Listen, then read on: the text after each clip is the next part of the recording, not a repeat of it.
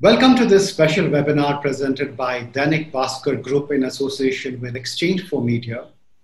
Over the next few weeks, we will be bringing you some curated series of webinars, and the topic would be non-metros driving the economic resurgence.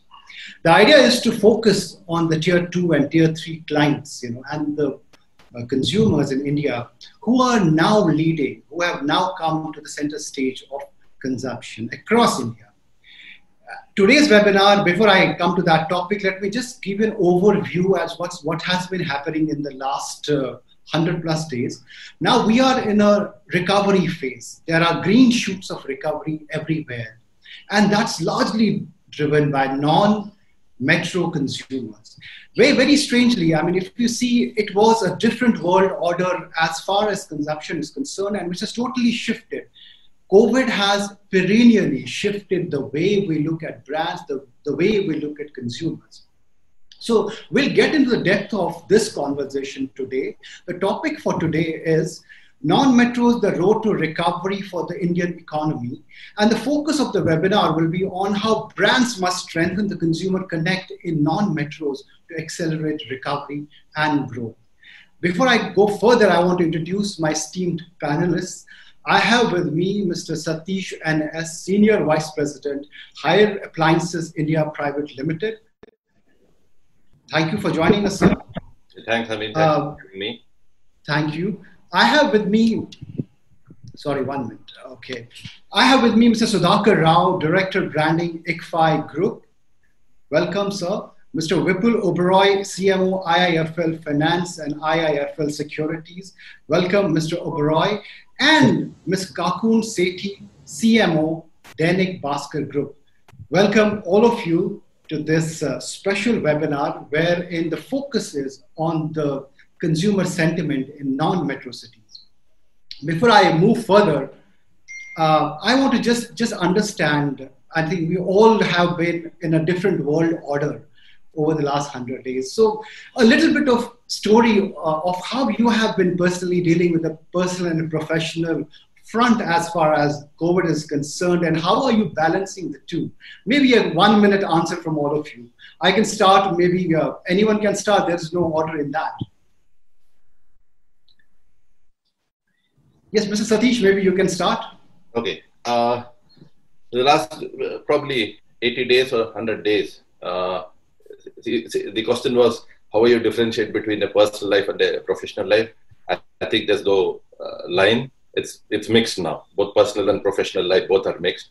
And probably uh, in a uh, webinar like this, in my general days, I would not have been, uh, you know, coming on a T-shirt like this. So that thin line gone wherein you know the formal this one. Oh, I think it's there's a very little difference between a professional and a personal life now. So the lines are blurring. Yeah. yeah. Mr. Rao, your thoughts? Yeah, in the last 100 days, uh, I would divide that into two parts. So the first part of 50 days, uh, I was busy on the roads uh, working along with my co-alumni to distribute ration for the needy folks, especially those uh, so-called migrant workers. And uh, we reached out to about 21,000 individuals and managed to put about uh, 15 days of food on the table uh, so that's what we did uh, as a voluntary activity from all my friends who studied along with me.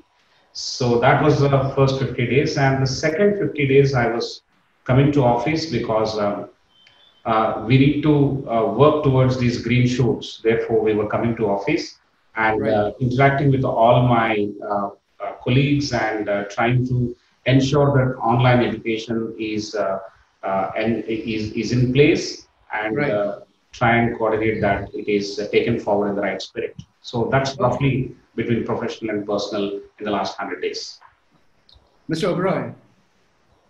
Yeah, so uh, in this lockdown, actually, our lives have been, uh, uh, Satish said, blurred.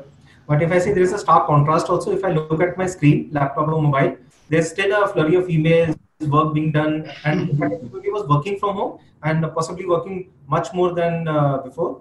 Uh, but when I look outside, go outside, uh, leave my office, uh, the world has changed drastically. It's very different from what we are seeing on screens. Uh, because right. of lockdown, we haven't still yet come back. And I said out of Mumbai, So life hasn't yet come back to normal. Uh, there are still uh, empty roads, which uh, in Mumbai you would uh, prefer to have that. But um, on the whole, when you see businesses closed, from our side, uh, all the marketing channels, most of these are non-existent right now. So it's a big contrast which I experience. Ms. Sethi, finally, your thoughts. Yeah, in fact, uh, just as uh, you know, a couple of us here mentioned, uh, lines are blurred uh, as far as working is concerned. I also. Sorry, so we lost the connection, I guess. Yeah. I think that that's okay. Yeah. Yes, yes. It's a bit. It, it's a thing. Right, right, right. I think that there's some problem with the connection. Uh, Yeah. Problem with my connection. It was slightly like we, we Okay. in between, yes, Uh, briefly. Yeah, it's been a little weird uh, since morning. Uh, so uh, my son is uh, currently appearing for his first online exam, so that's kind of new. Mm. Uh, it's, Right, uh, right. yeah, so it's a. Right. Um, I think it's just the level, it's the amount of work Right. which has gone up, uh, Right.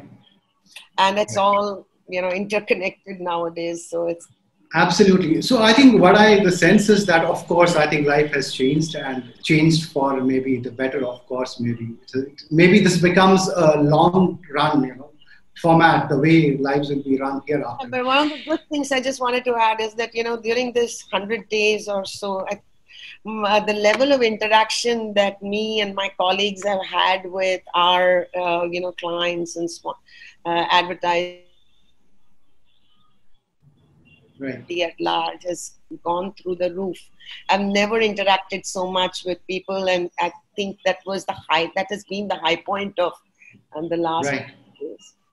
Yeah, absolutely. I think people do actually uh, highlight this point that while we have been socially distanced, but there has been a certain connect, you know, which was never before.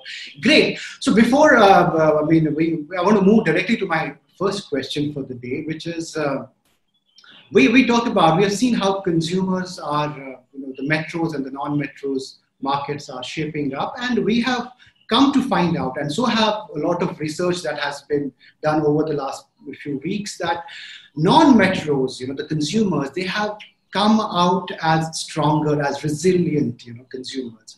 So my first question is that what makes non-metros so resilient to this uh, this drastic change that has happened? You know, this phenomenal uh, thing that has kind of vanished uh, and uh, closed businesses across and brought down this consumer sentiment, but yet non-metros are not that affected. So I want to come to you first, Mr. Oberoi. What is your thought? What is the the reason that we see this pattern? Thanks. Uh, is, I would like to actually first try to separate the wheat from the chaff. Uh, is that the economy slowed down really not because of COVID, but because of lockdown? Uh, so I'm not getting into the reasons True. why lockdown was done. Uh, it was, of course, essential. And uh, maybe I'm putting it too simplistically, but uh, because of lockdown, people, consumers weren't spending as much. Businesses saw slowdown in production or requirement of staff for certain services, or had to stop their business altogether, which Right. resulted in layoffs, pay cuts, and ultimately these were the consumers who were not spending as much. It's a vicious circle. But it all started with lockdown. Now, why I'm bringing this point also is that uh, the major cities saw a stricter implementation of lockdown by authorities and more disciplined following of rules as well by the citizens, which hasn't been the case in non-metros. Now, businesses continue to operate in most places, so there was a continuity in production and consumption of goods and services. Now, metros are hub of services; they have non-farm out- output. Rural areas are hubs of agriculture, which obviously cannot be paused, should not be paused. Non-metros, uh, if I see uh, the tier two, tier three cities, uh, are a mix of both. But uh, in my opinion, they just happen to be along the Silk Route. But continuity, I feel, is the major reason why non-metros have been more buoyant and resilient to this. Right, right, right. Uh, Mr. Santosh, uh, I want to come to you. I mean, do you agree? Do you think uh, the, the fact that lockdown was more visible in metros that led to the sentiment that we're witnessing today, uh, that uh, resurgence in non-metros, is that the reason? Um, if you ask me, see the the impact of the lockdown or this one in the non-metros was quite low. Second is the uh, overall economy impact on metro was it was least there.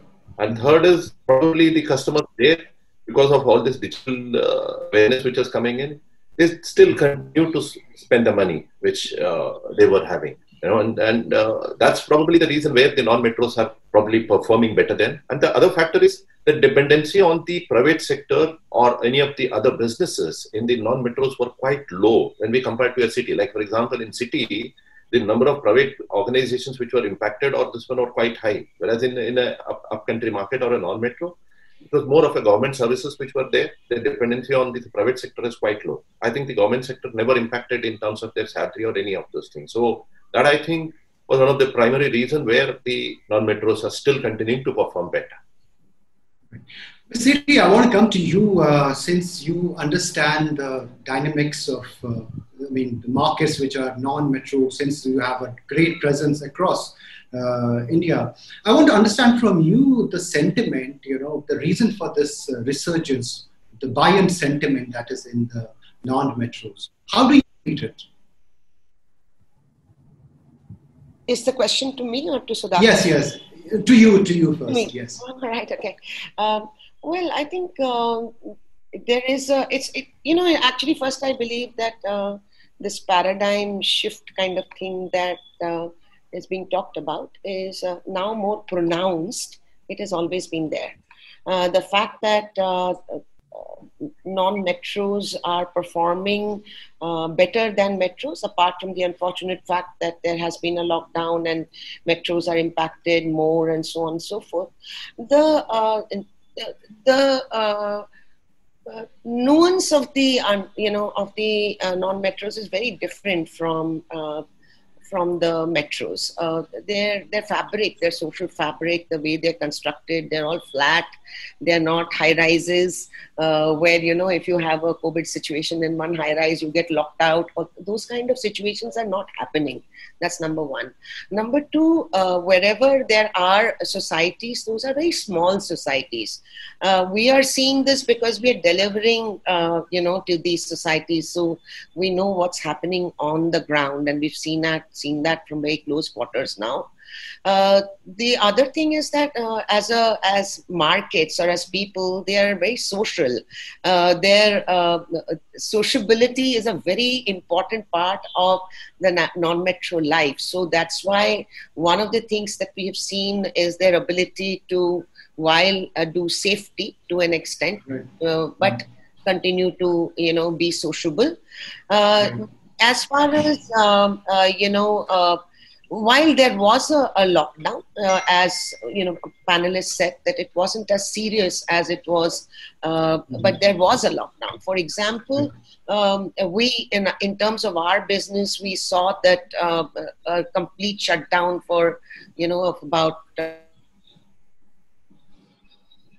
Around and Sorry, yeah. almost became non-shutdown. So uh, that I feel that it's the uh, it, it's a cultural thing, which is why the uh, the fact that uh, they are less impacted. That's number one. And number two is the kind of, for example, you and I work in corporate offices, so we are uh, shut down.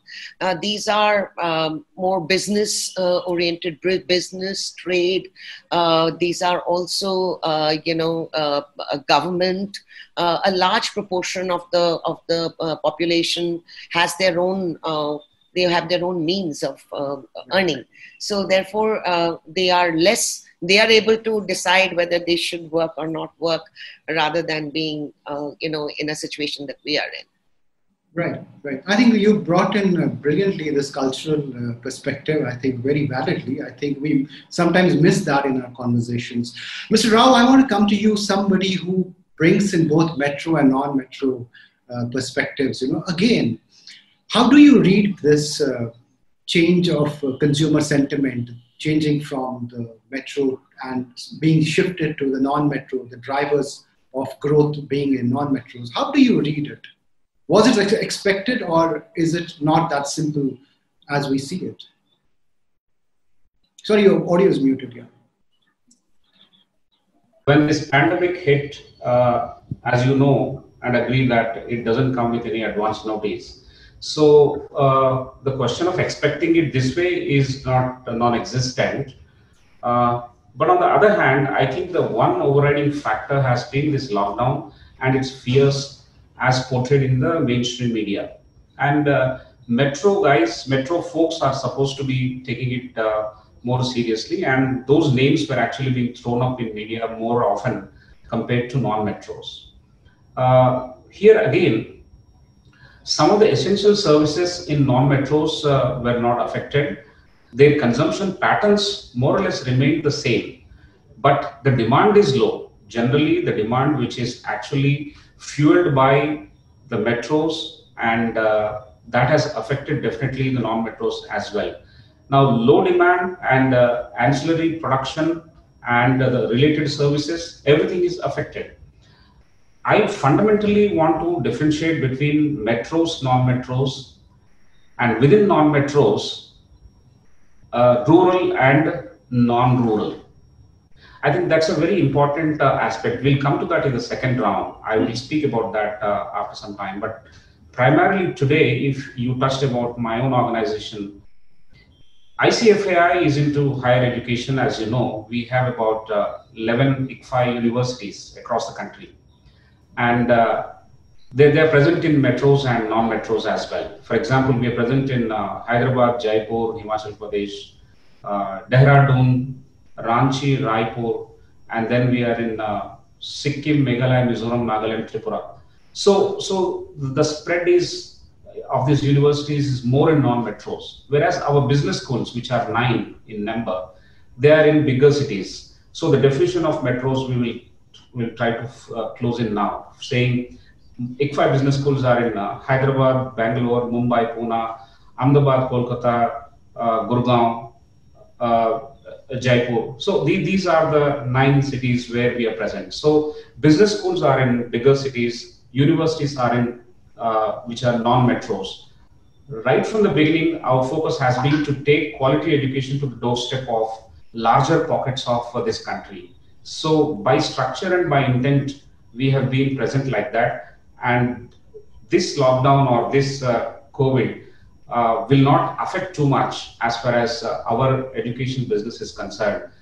Uh, this is an annual purchase for them, unlike those essentials which they purchase every week and every month.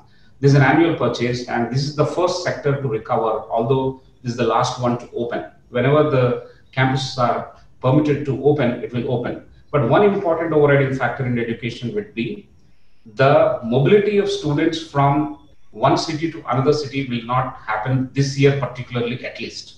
For example, the student who is studying in, say, Jaipur would not like to move to Hyderabad, and somebody in Gwalior would not like to move to, say, Mumbai. So the students will have to be caught, which means the catchment area will have to be in those respective towns itself. And ICFAI is present in all these towns by structure right from the beginning. Say, last 12 years, we've been present in almost all these locations. Therefore, our catchment areas are more defined, and we would like to expect those students studying there itself. In fact, our numbers could be, our enrollment numbers could be much more than the last year, given the fact that a large number of them will not migrate to nearby bigger cities uh, because we are the best option in all these places wherever we are present. I think you brought out some positive stories, which I think uh, have not been touched upon maybe in a lot of conversations earlier.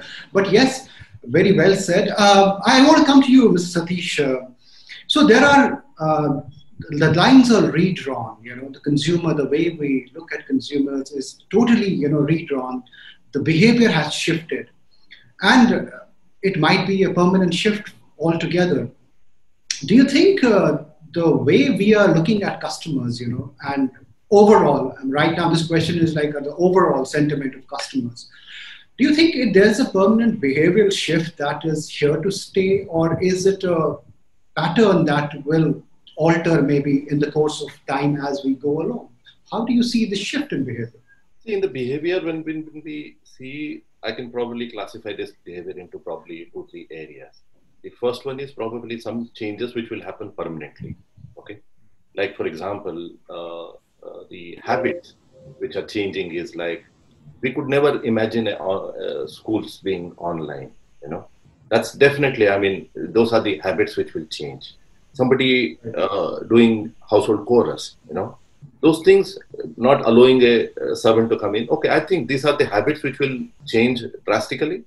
And there are certain fundamental changes which are accel- getting accelerated. For example, the search for information. Earlier, people used to go around in the shopping areas and then search for that information. Today, probably the digitization is the thing which is right. happening. So people would do more of a digital search to get that information. And, and, and probably the shopping, probably the online is, is here to stay, at least for the smaller items and the smaller ticket size. That adaptation which was there, like if you remember the uh, demonetization period, when people who could not even spell probably the Paytm were started, were forced. The I think probably the COVID has brought in that digital revolution, and then probably that has uh, changed. Huh. There are certain habits which are forced, like for example, probably in this last 100 days people have washed their hands more than probably their lifetime you know this probably once the covid fear goes out probably these things okay anyway and then probably social distancing today okay you're forced to live at home so these are all temporary habits which probably once the covid uh, goes off then people again will go back to shopping mall people will go back to their friends and then you know have a party on this one so i think these are the consumer behavioral changes which i see happening Right, right. I know. I think once these behaviors are formed, to undo them is another task altogether. I think you're so right. Uh, Mr. Oberoi, your thoughts on this changed consumer that we call, you know, that normally in our conversations we say consumer has changed. Has he changed forever, he or she, or is it reversible? Can be undone later on? Uh, in fact, Satish uh, rightly pointed out to two things. One is temporary habits, and then second is permanent. Uh, and this uh, demonetization, if you see, was also a watershed moment because it gave a huge fillip to the digital payments in India. So, but right now, when we talk about lockdown, uh, I think a lot has been said about the acceleration of digital consumption. But uh, I would like to talk more about uh, the digital conversation, and that is a consumer behavior change which I would like to talk about.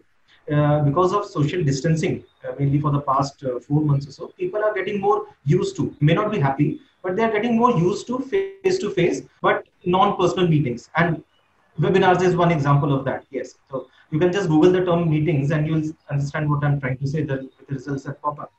But uh, yes, demonetization made businesses think, do we need customer to pay cash? Now lockdown has made businesses and even consumers think, do we need personal interaction?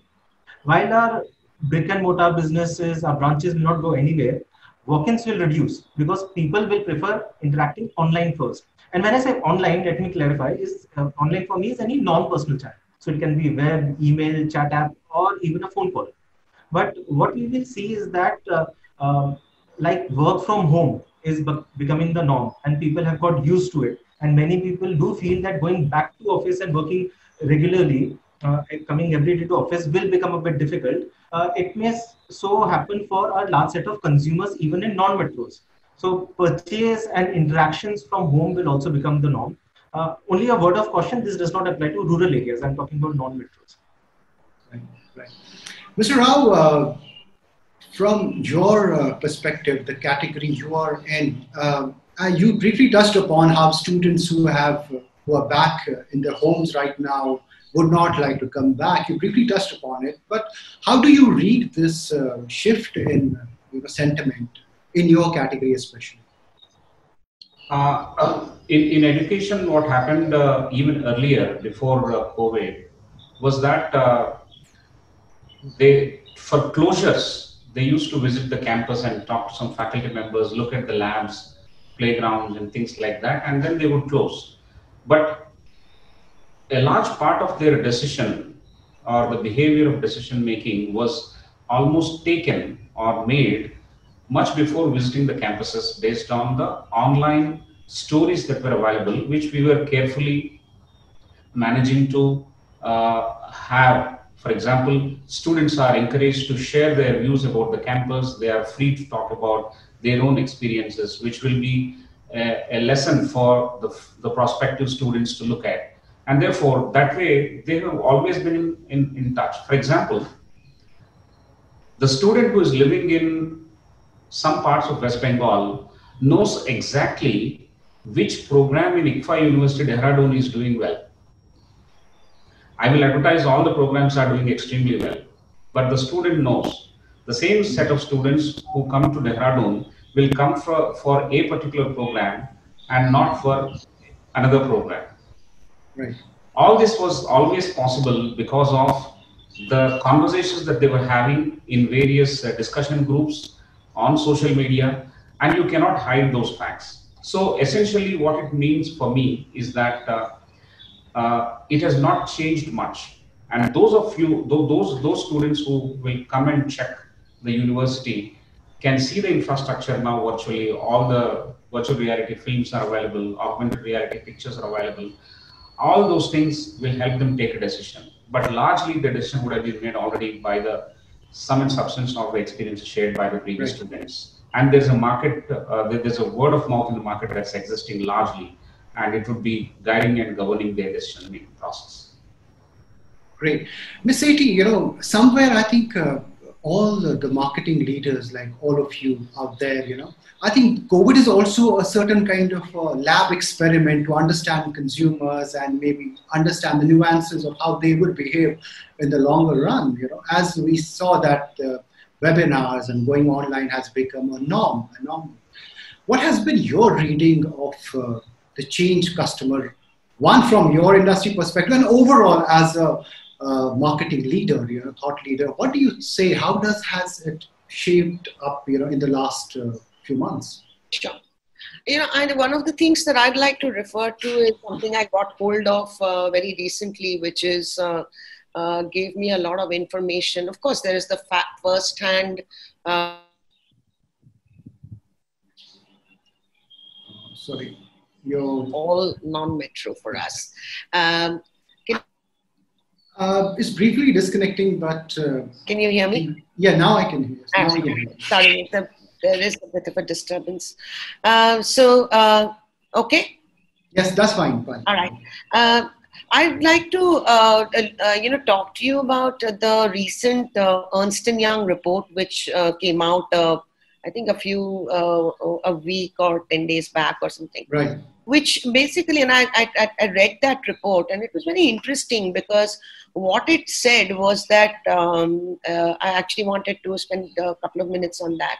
One is that uh, so you talked about, you know, how non-metros were uh, resilient and they had, and we discussed how, why and why they were right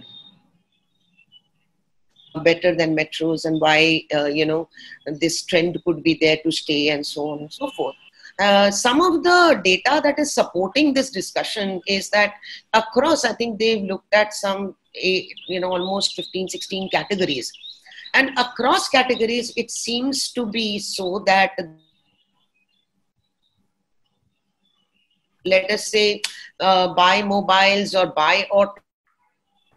Mm-hmm to be uh, more in the non-metros and as, uh, that seemed to be like a, a real eye-opener uh, for me at least where uh, it's important to see that report uh, that uh, across um, you know categories there was a, a, there seems to be a larger intention to buy which is why this whole feeling of or this whole belief that it is that these markets are more resilient than you know mm-hmm. or um, than metros at this point in time. Uh, they will continue to be more resilient for some of the reasons that all of us gave here.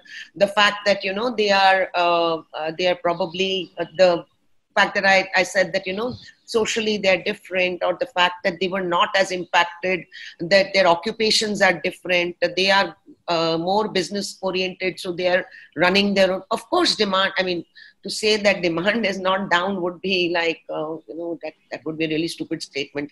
But of course demand is uh, down. But the fact is that resilience seems to be that report said to me that you know that resilience is what these markets were showing. So that seemed to be a, a, a point that i thought i'd bring up in. Uh, in view of you know or in favor of uh, non-metros uh, so to speak.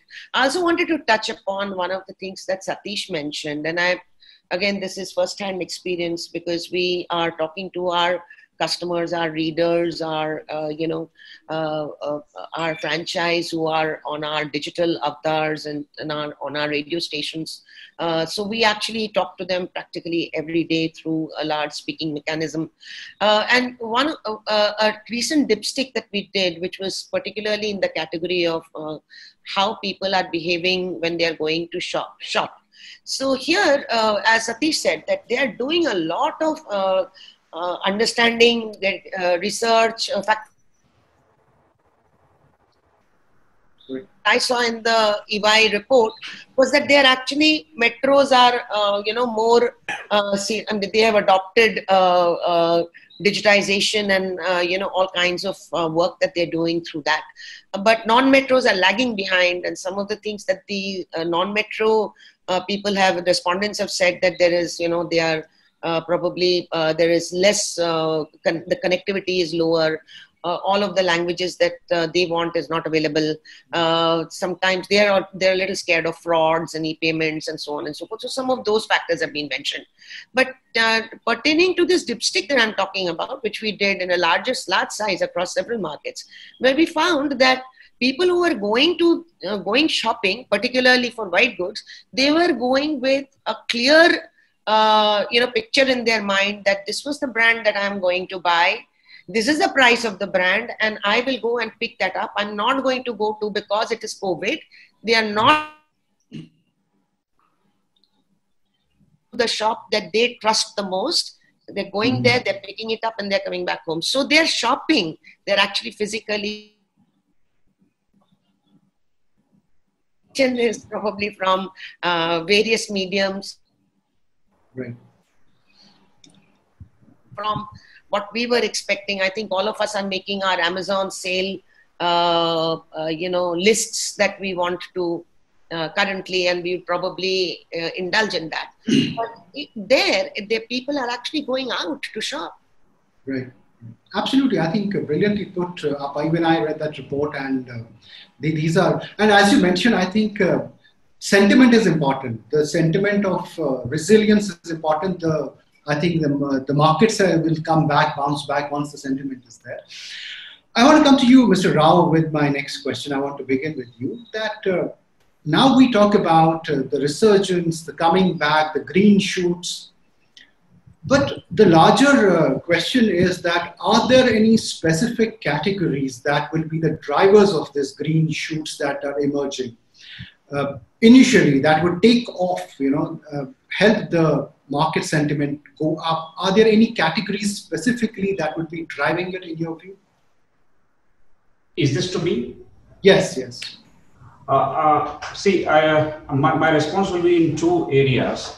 one is related to education and the other one in general. The first one about education is that uh, the online education that is currently going on uh, in our attempt to connect to a large number of students across the country, education institutions have not reached beyond 50% of the population, which means there are 37 crore students studying from KG to PG and research level across the country all the time 37 crore students are studying. Out of this, at best, institutions have reached out uh, to them online 50%. So a large population, another 50% is yet to be touched for more importantly, four reasons. One, lack of devices, either smartphones or tabs. Second, internet connectivity.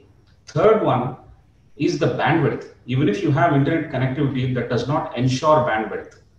And the fourth one is electricity. Now, all these four factors are not uniformly present in the remaining 50% of the population locations, but in different different pockets, some of the factors are dominant, but then it's an interplay of all the four. So it's not working uh, the way we want it. Now, this will only be, only be possible if the government is on mission mode. I said this earlier and I'm saying it again that if the government is on mission mode and rap, rapid build infrastructure, probably we could reach, say, 70% or 75% from where we are at, at present 50%. Having said that, I come to the general uh, discussion of uh, the E&Y report. I'm not a great uh, fan of E&Y report. Uh, I read this. It's a July 2020 report. It's the latest one. Uh, for a very important reason that uh, I want to live like an optimist and die like a pessimist and not the reverse. See, currently what's happening is the rural sector or the non-metro is just not the rural. Non-metro is is basically tier one, tier two, tier three, and some of the tier three and tier four is also rural. So therefore, let me talk about uh, rural itself. Now, rural economy has got agriculture economy and non-agriculture economy. You know that agriculture economy is about, you know, uh, you, you have farming, and then non-farming is about construction, uh, livestock rearing, and so on and so forth. So all this put together is the rural economy. I don't see that there are any credible reasons why the rural economy is going to help fuel the overall Indian economy. I, I, I don't see that actually. Even otherwise, also the rural economy was only about one seventh of our economy or one eighth of our economy. Therefore, I don't see structurally why that should be uh, helping the overall economy in, in coming back to normalcy. You will have these islands of boost on a comparative mode, saying that non-metro is doing well. I agree to that extent. Uh, to that extent, but is it going to be permanently like that? I'm, I'm, I'm sure it is not. COVID is reaching non-metros and even rural areas now. So the hitherto uh, uh factors that that probably gave a semblance of resilience are now not going to exist. Therefore, we need to have those uh, uh, things once again checked. E&Y should present another report by by uh, by end of August or middle of August. That would be the realistic picture. As we move forward, the number of COVID cases are going to rise. The state governments are going to lose their control. Their medical facilities and infrastructure has already busted, and it is going to go worse. The state revenue collections are coming down uh, more because of you know no access and no uh, activities happening in various parts of the state their collections have come down drastically. So their own ability to service everyone will be very very poor especially at a time when their priority is covid. Right right right. So so these are these are large number of issues which which are there. Perfect. I think it is misunderstood. I am i'm comparing this E&Y report to what Vivek Kaul has been uh, writing about in various pieces uh, and where he has been talking about. Vivek Kaul, a good friend, he wrote that uh, Bad Money. He says that people have actually not understood the rural economy or the agriculture economy. It is actually very, very small. And, and some of the instances taken by, for example, the tractor sales and motorbike sales have gone up so motorbike sales and tractor sales are very, very small part of the whole thing in rural areas. For example, last fiscal 2019 and 20, the tractor sales, each tractor on average cost about 5 lakhs of rupees. So if 7 lakh, 7 lakh, lakh tractors have been sold, then it was only 35,000 crores. Right. Well, Whereas uh, it, it, it, it, again works out to uh, about one eighth of the whole thing. So, so no, we, can't, we, can't, go by those factors. No, I, I, I totally, totally agree with you. I think you have brought in a sentiment which is there. I think there is a scope of, of course, I think how the COVID scenario will shape up, you know, and henceforth. I think that is another conversation. I do totally agree with you, your point of view. Uh, but at the moment, I mean, what is before us, you know, what is before us? I want to come to you, Mr. Oberoi, you know if we look at the picture that is right now before us, and what the picture is coming is, of course, you know, something that we can look at later on. Uh, basis the data that we have so far, uh, in your view, what would be the categories that would be driving that growth, the sentiment, the market sentiment back, in, in your view? Uh, of course, I have a contrarian view, and I believe that agriculture is, uh, of course, critical to the economy. Uh, how much contribution it makes, of course, it's not the only, uh, it's not a major contributor, yes, uh, from a numbers perspective, but of course, it has an overall uh, cascading effect on the other aspects of the economy, including what Satish would also talk probably about the white goods sales here. So the cascading effect is also important. And when we started this webinar, I spoke about that vicious circle, which has to be really broken. Uh, second, I feel uh, is uh, the MSMEs because they generate employment and uh, the more we support the MSMEs, uh, and it all depends on the government support right now. So uh, they would not really bounce back organically like a phoenix. Uh, support has to be provided. Third, I believe, is uh, telecommunications, uh, and I feel that telecommunication essentially was always communications, and I'm not talking about just phone calls happening. Data Right. is critical, which uh, Mr. Sudhakar also mentioned for his students who, and because schools and campuses will be the last ones to get open. Uh, in fact, uh, uh, communications is important for uh, everybody's business, including mine. So, uh, low cost of data is critical because in our business, which is a more branch-driven business, and NBFC business, uh, we have seen a drastic surge in the adoption of digital payments, uh, and that we have seen in the past one year or so. And that is possible only if we have uh, good, reliable data, uh, data connectivity. So telecommunications is critical. Whether they can bounce back or not, it's uh, entirely up to the government right now. Right. Ms. Sethi, I want to come to you. My next question is to you. Since you, the interface that you have with brands is different. I mean, you there's a cross section of brands that you interact with, and uh, what has been your understanding of the categories that are ready to? Can you hear me? Sorry. Um, am I audible? Yeah. Uh, yeah, it's breaking in between, okay. but it's okay. All right. Tell me. right. So I want to understand from you the categories according to you that would be driving this growth since you have, as I said, you know, interacted with a whole lot of the brands across. Can you hear me? Uh, we can. It's, slightly. I mean, in between it gets uh, disconnected for a second. Yeah, but yeah, for a second it yeah. drops, and I'm like a little confused then. Right. Well, um, I can only go by data. Uh, what the data tells me is that there seems to be, um, you know, good amount of volume in uh, uh, a certain number of categories. Um, auto, for one, uh, is uh, you know is one of those categories. There is education, uh, which is the other uh, category, which is uh, there is um, good amount of volume in the uh, uh, in the non-metro markets that that we can see here. Uh, there's FMCG. Um, uh, there are, and, and one of the things that we've seen, you know, it's an interesting, uh, uh, it's an interesting situation that local FMCG brands have given corporate FMCG brands have run for their money also because they have seized the moment. For example, Amul. Uh, if you see the story there, Amul seized the moment and continued to advertise at a point in time when everybody was quiet and wondering what to do.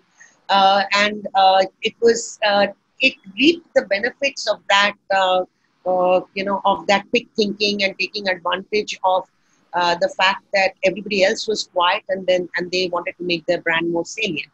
So there are there are several large categories which are extremely promising.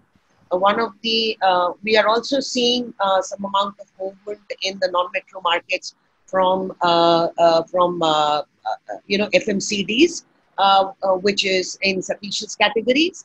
Uh, so uh, these are some of the larger um, larger categories that we uh, see volume in. Uh, importantly, if I were to talk about my business uh, in the sense that uh, you know the business that we're in, uh, in terms of media, uh, a couple of things have happened. Unlike, which is really a different, uh, you know, this whole metro versus non-metro uh, situation that we are seeing, uh, we are discussing actually. Uh, in the metros, we've seen that over the last just about a week, 10 days back, I started receiving my newspaper. But if you look at uh, uh, non-metro markets, and I'm talking all regional markets here, not Dainik Bhaskar alone. This is all regional markets, all whether Kerala to Gujarat and so on and so forth. Uh, all regional uh, publications were uh, uh, went back into recovery mode of this because for seven days everything got shut down. So after seven days, the recovery was extremely uh, uh, rapid to the ex- the recovery of a newspaper is close to newspapers is close to 90%. In our markets, it's about 82%. We are a public limited company. We have to file our, uh, you know, Pricewaterhouse is our, uh, uh, it, it audits us. We have to file uh, our returns on SEBI. Our quarter is coming up uh, next, next week. So we will be filing. I know for a fact that we are uh, at 82% recovery of of circulation. So the because the state government's help, the sanitization and everything that needed to be done was done really rapidly. I would give a lot of credit to publishers here because I think they understood that they cannot live without, I mean, they should not uh, allow this habit to be broken. Right, right. And uh, th- that quick thinking uh, allowed uh, the recovery of circulations to happen very fast. We also, for example, in our case, if I look at it, we're delivering about 75 million MUV on. Yeah. You know, the fact is that, uh, and we've seen a clear pattern when we look at our portfolio. We see the morning newspaper being read. Uh, we know that again. Uh, I'm going back to a, a report which uh, which has been discussed before, which said that you know the trust index as far as uh, newspapers is concerned is very high. Uh, I uh, don't for a minute uh, doubt that because uh, we've seen that in our markets. We're also talking to other publishers, and we feel that the written word, particularly in these markets, uh, the written word is taken very seriously. And more importantly, the other number that really, uh, you know, kind of uh, uh, surprised me was that online people tended to believe online news more than they believe TV news. I would assume no, that's uh, there's a reason for that because in the non-metros uh, they physical Sorry, newspapers. That's Mhm. why the trust index is quite high as far as uh, online is concerned. So uh, these are Right. some of the uh, you know uh, categories which are uh, uh, which are moving in the uh, like I said, if I compare July uh, last year versus this year, I'm sure that you know we we're far away from uh, what numbers, but there are volumes which are uh, speaking of a good. Uh, I wouldn't say great, but uh, definitely a, a recovery which is uh, which is being seen. Right. There is Right. promise there, so uh, can't Sure. shy away from that situation. Perfect. Mrs. Satish, um, you have heard all of them, and now I want to get your perspective on this uh, the drivers of uh, this, the green shoots, the resurgence, and, and in your category also. Um, give me a perspective, a sense of how your category is placed in this uh, revival that we call it, the green shoots. Where do you see the role of your category, plus the overall, the drivers that would be there as far as other brands are concerned? uh, luckily for us, I think probably after the grocery industry, we were the fastest to recover. Okay, uh, because the average spend time spent by a uh, individual at home has gone up. Okay, so uh, the what will drive this category or what are the things which will drive the categories which will add the hygiene part, the categories which will address the convenience part. I think probably those categories would grow much, much faster. L- giving our own examples, probably these the larger refrigerators, which is costing about 65, 70,000. Trust me, we ran out of inventory last month. Okay, the people are storing more and people are looking at larger refrigerators. Same is the case probably earlier. Now, most of the people are spending a time at home and uh, they have their, most of the men getting into washing. So earlier the maid was doing, so semi-automatic machine was there. Now they are upgrading to a fully automatic machine. Earlier the maid was doing the cleaning. Now the dishwashers people want to buy. And people want to buy all this UV product. And Right. the best part is, since the time spent is more, the living room has become the uh, new entertainment center. So we are seeing a huge surge in our large screen televisions which are happening. So it's a huge, I mean, across the category, whether it is metro or non-metro, the large screen televisions have gone up. So overall, if you look at the categories, whether in our industry or any other industry, the categories which will address anything related to hygiene, anything related to convenience, I think probably those are the industries which would definitely grow much, much, much faster than what current uh, uh, space Right. speed is. I want to make a small announcement that we have another 10 15 minutes left, and we are already getting some questions. And I want to request uh, uh, my viewers that you know you have any questions, please uh, post on Facebook, Twitter, on Zoom, and we will definitely ask those questions. I want to come to you, Mr. Satish, with my next uh, question. I want to start with you. Is that in all of uh, the categories, there is a missing. Uh, these are the physical touch points have come down and uh, completely not been seen there for some time, and uh, the touch points have shifted to digital. And one is that can we recreate the physical uh, the experience uh, digitally, and how? how are our brands thinking strategically in a long-term way to adjust to this uh, digital touch points that, that, that are emerging right now? Ask me that question. Yes, yes. You can. This is my answer to you. My beard is what I can say. The last hundred days has been a nightmare to us. Trust me. Ours is an industry where people would want to touch and feel a refrigerator, see the color of the refrigerator. Mm-hmm would like to see a washing machine. How does it look? What does it function? Would like to touch and feel a microwave, okay, when you're opening a door and see how it would work. Now, here is a challenge for us. In the last 100 days, the first and foremost, the pre purchase completely changed. The customer, the way he was going to a, a shop floor. Earlier, they used to go to the shop floors, talk to the salesperson, understand from him what and what does he want and this one? Come back home discuss with their friends and colleagues and then they were buying it. Now that completely stopped. Second during the purchase now people earlier would prefer to go to a larger outlet or, or, or you know some store which is in a mall or something. People started buying locally. We suddenly saw a resurgence in the smaller outlets in the distribution channel. People said boss if, even if it was 500 rupees expensive let me go buy from my neighborhood store.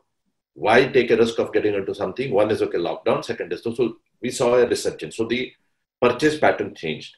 The third important challenge was the post purchase. Earlier, if you buy a refrigerator or if you buy a uh, LED television, our engineer used to come to your houses, customer houses, set it up to his requirement, and then come out of it. Now, the, all the three parameters completely changed. Pre-purchase, okay, we have to make everything digital. From a people who are see our industry is almost, I would say, varying from brand to brand. Probably 93 between 90 to 93 percent is from offline, and about 10 to 7 percent is from online businesses. Now, this 93 percent people, we were depending completely on physical, everything physical, physical catalog, physical product demonstration. Now, in yeah. quick succession of 30 days, you have to shift from physical to uh, digital. So you have to make everything. So uh, clean your websites, get your uh, blocks cleared, get the videos done, everything, how effectively you will put your product videos and everything to them. Second, we have to get our distribution channel right. Okay, if the customer is going to neighborhood store, are we present there? How do you change that thing?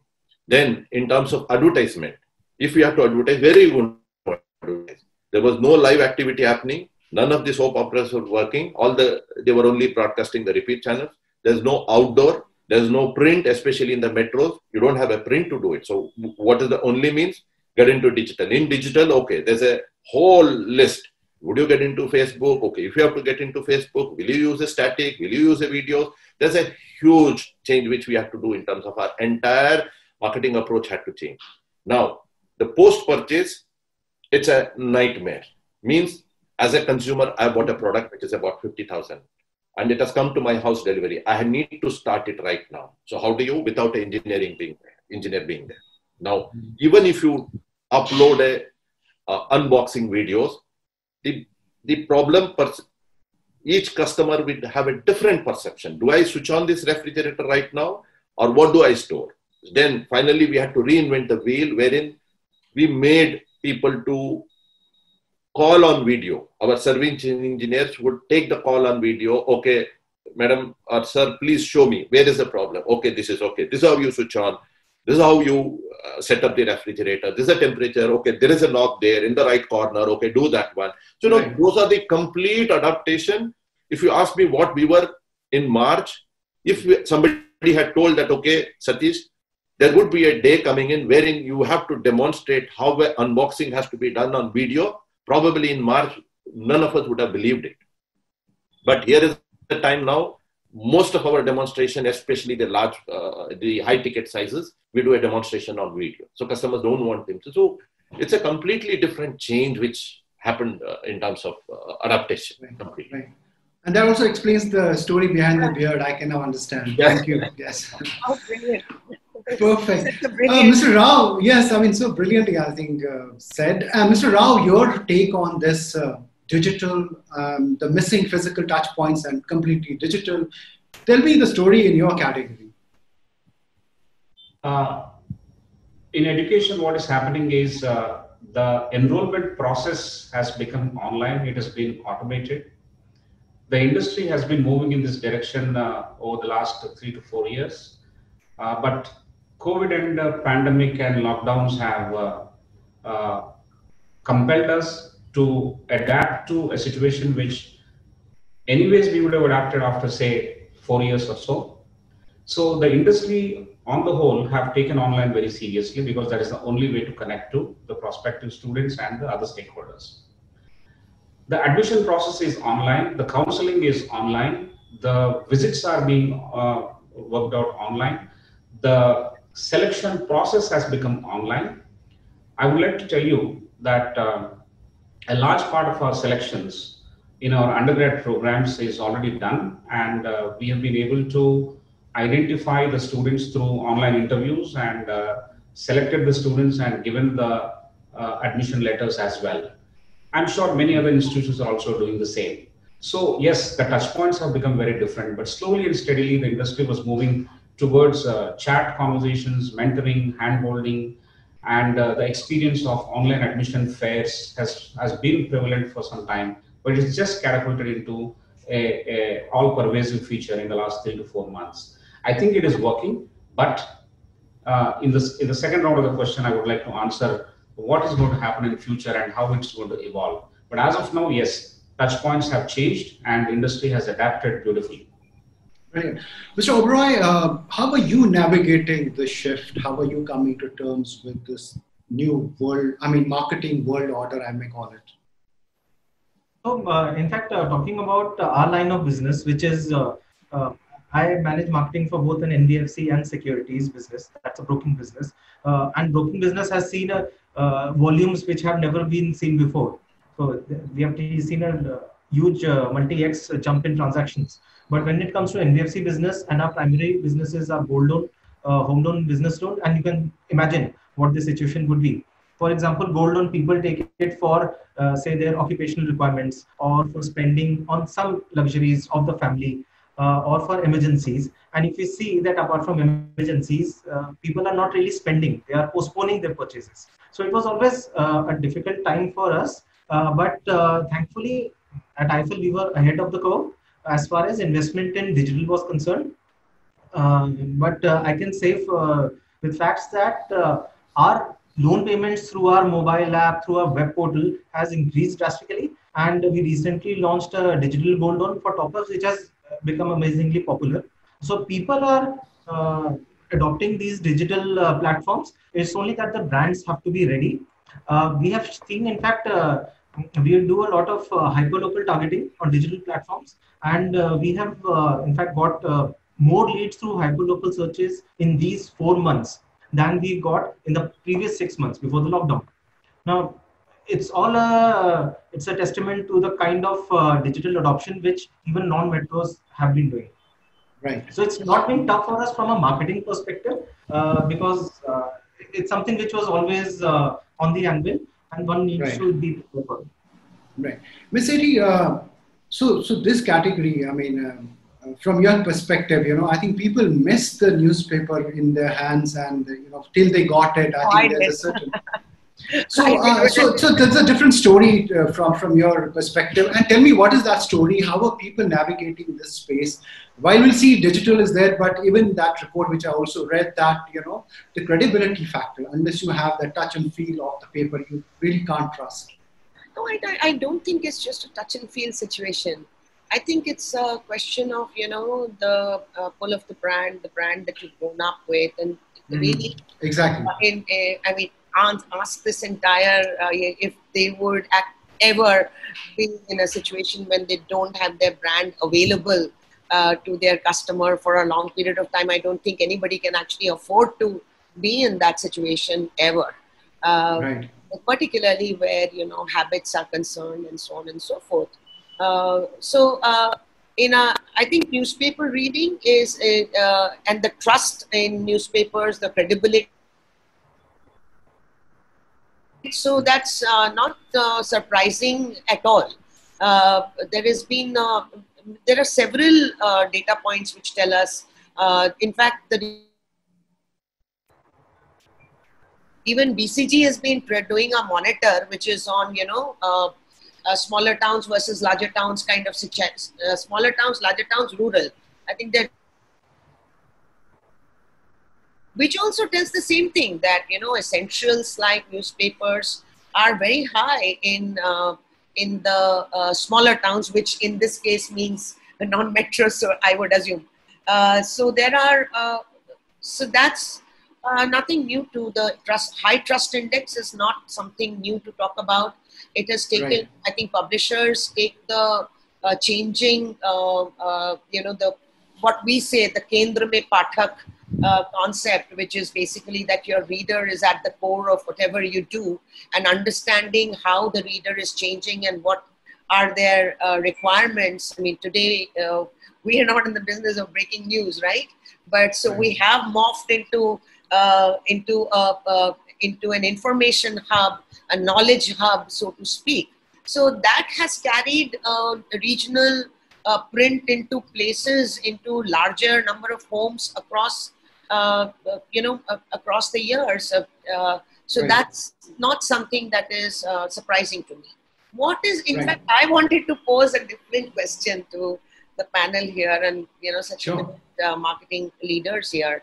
Uh, one of the things that I wanted to ask is that if we were to, you know, look at what the subject matter here today is, which is that it's um, our unmetros, uh, you know, really fueling the recovery of uh, in India, and there seems to be some data available uh, now to say that yeah, there are certain uh, categories where they are looking more resilient and so on and so forth. In this situation, how does the market prioritization model change? Yes, so that's please, a, that's a, yeah. yeah. So anyone wants to take it, yes. market prioritization model change because one point at this whole you know traditional uh, uh, traditional uh, market prioritization where you know uh, the large P1 markets are metros, but now metros are not firing. Uh, they will uh, come back and they will, but at the at this point in time, you and I are not going to sit there and say we wait for the metros to fire. Right? We will say that these are the markets that are firing. Uh, go get in there. So, what happens to market prioritization? I just wanted to get a word from okay. See, in terms of market prioritization, as you rightly said, okay, as a as a sales or a marketing guy, you can't wait for market to wake up. You know, okay, you need to take that optimistic view and say, okay, where is the market working? These are the markets which are working. Okay, what does it take to take that market up? Okay, okay. For example, in the upcountry market or the rural market. So we've been pushing our entire distribution channel uh, the towns which are open. So at any point of time, at, at probably around nine o'clock, we get a clear information which are the markets open, which are the shops open. So entire our sales team, we have a mapping exercise which we do. So we understand which are the markets which are open, what is going to be closed. Now, what is it working there? Is the print reaching there? Okay. Now, of course, yeah, in terms of how do you get the customer? So print is whichever markets prints are reaching, probably okay, take that as a priority and then put the print there. Okay, if the, that market can be doing. We have experimented. For example, we did some experimentation in the upcountry market to see the tier two and tier three, like how a digital, a Facebook or a, a, a campaign can work. So that we clearly we experimented on a particular product in that market to see whether Facebook will work. Okay, that way okay some markets we did like for example now the onam is starting so uh, okay in kerala touchwood okay probably the uh, newsprint has not got affected.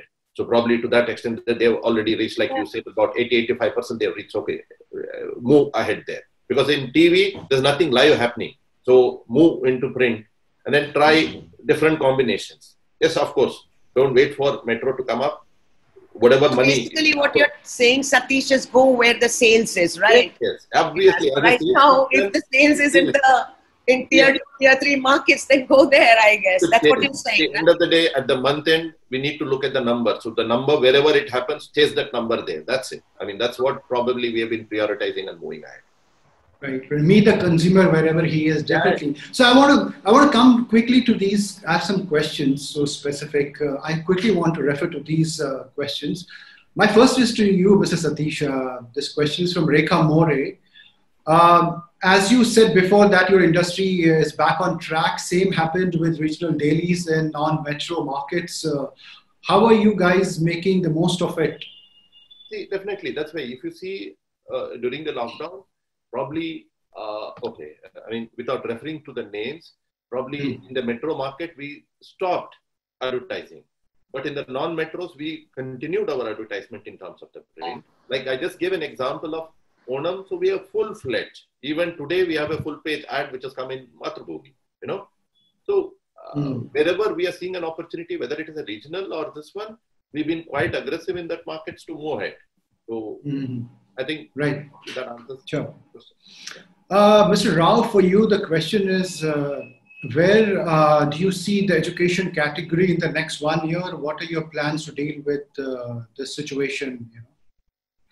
Yeah, I have seen that question. Uh, we need to uh, understand two important scenarios that are emerging owing to the pandemic as far as education is concerned we see that initially there was a lot of confusion as to what has to be done. And then quickly institutions have woken up to building their infrastructure and uh, uh, training their faculty members to get on to online connect. So confusion to infrastructure building to the maturity stage of where institutions would win is to create differentiation. The institution was already known for certain USPs I think that USP should be brought into even in the online mode. I think once the differentiation is achieved, then that would be a maturity stage. Now, right. within this online adoption, there are again three important phases. One is the first phase has been adopting various tools like Zoom, WhatsApp, uh, Google uh, Meet, or uh, MS uh, Teams, so on and so forth. From right. tools some institutions have moved to what is called a white label learning management systems, white label LMS. White label LMS is little more than a tool. It gives you certain other functionalities, but that is available in the market and you can put your logo on that and you can run. But, but institutions which are here for a longer stay and who have a job to protect their reputation will build their own learning management systems. It is like staying in a hotel to staying in a rented house to staying in your own home. That is from right. tool to uh, white label LMS to your own LMS. It depends on your vision and the power of stay in the industry, the education space that you have been into. And that defines various other actions. So these are the two important scenarios that are emerging. As I foresee, as I foresee, this is going to be a blended learning in the days to come, even after face-to-face learning is opened up so a large part of the things that we were teaching in the classroom would now be relegated to online, that is asynchronous learning in terms of videos, games, and things like that. But campuses would be very nicely prioritized for peer learning, learning from friends, building camaraderie, bonding, games, sports, so on and so forth. I think we will be using discussions, okay. debates, and all these things for navigating through contrary opinions. And that's what education institutions should be used for. And some of the budget schools or some of those who have not been staying in education with passion will move out. Eventually, they'll be compelled to move out, and the best of them will, will stay. As far as faculty members are concerned, they have adapted themselves beautifully well and they become the champion of uh, uh, gathering all the students. They become more discoverable if they use their social media, and then they'll play a role model. Uh, they continue to play the role model that they, they have been playing, and therefore, the best of the teachers will become better with these new scenarios emerging. And I think sorry, I have, to, I have to, sorry, sorry, I'm really sorry. I have to just in the interest of time, I want to take one final question. You know, uh, like that typical news uh, channel debate types, like one minute to all of you. Uh, I'll start with you, uh, Mr. Oberoi. You know, so tell me, as we go on, uh, one the sentiment that is there in the non-metro markets, how can brands leverage it? You know, what what is your advice to you know the marketing community? How do you see it? A quick one minute answer. Oh, uh, for them, it's like uh, to reach out. for it's if it's specifically for the marketing community, I would say that the themes are changing. Earlier, we used to talk about prosperity, we used to talk about fulfilling dreams, etc. But the themes have changed to a more subdued emotions. Uh, security is an important one. We are coming back down in the Maslow's hierarchy of needs. So our themes are what we say, the message we say. It's more about security of future, and it is very important for you to reach out. Personal interactions will be limited, but the digital uh, is like now embedded into uh, the life fabric of every citizen of India almost. And uh, the important thing is, yes, stay connected. Right. Uh, Mrs. Uh, Satish, your, your quick uh, answer to this. My advice to anybody in marketing or sales is probably, as I said again, I'll repeat.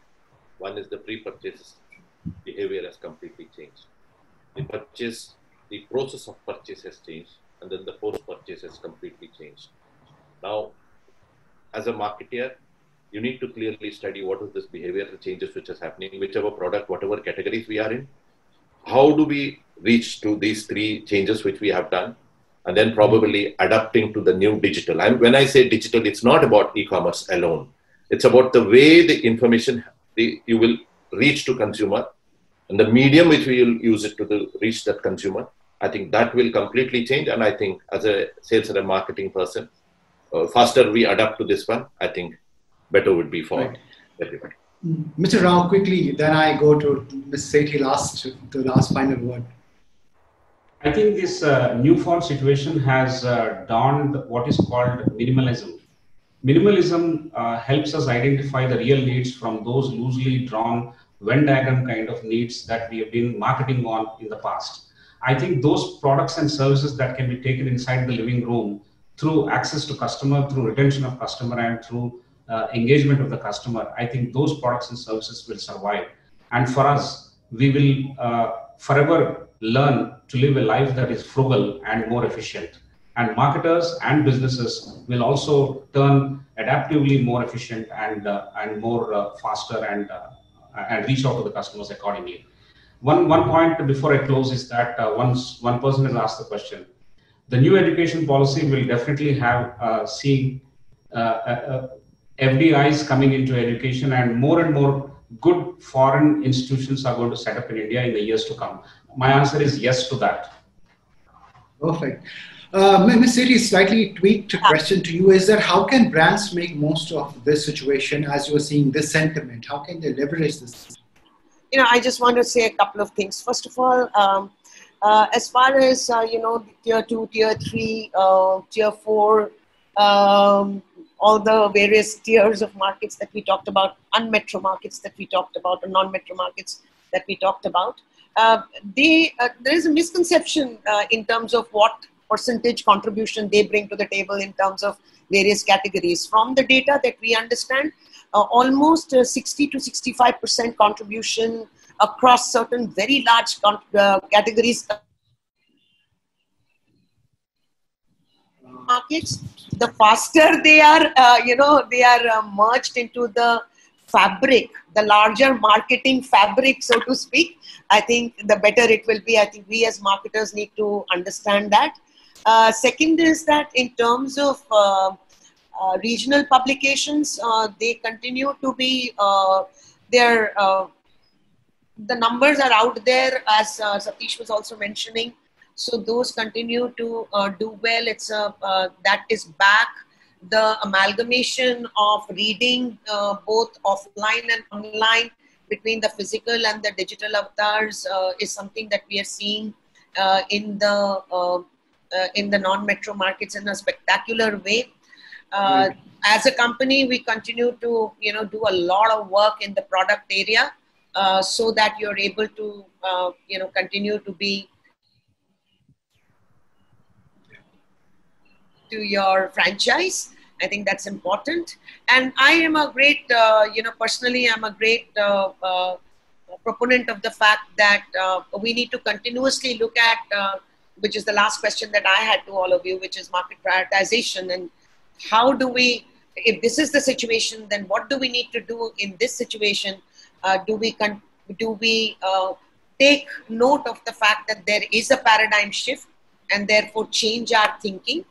or uh, do we wait for you know uh, we wait. Yeah. I think that is uh, that is a, and I'm sure that we won't because I think venue. So um, that is uh, okay. these are interesting times, and uh, I think we are all responding uh, in very very interesting ways. Satish, I totally loved the way you described. Uh, and that is very interesting actually, and, and the time bound. I mean, to do it is so fast. So much for allowing that extra yeah. time to speak. Yeah. I want to thank uh, Ms. Sethi, Mr. Oberoi, Mr. Satish, Mr. Rao for this wonderful conversation. And our focus, along with our partner Dainik Bhaskar, would remain on non-metros. We'll come up with a series of, as I said, webinars. And for today, thank you so much for joining us to all the viewers who watched us and all the questions that were posted. Thank you once again for your time. See you soon. Thank you so much.